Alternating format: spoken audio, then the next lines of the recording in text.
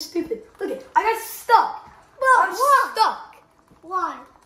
And I'm no just gonna run out of time. For no.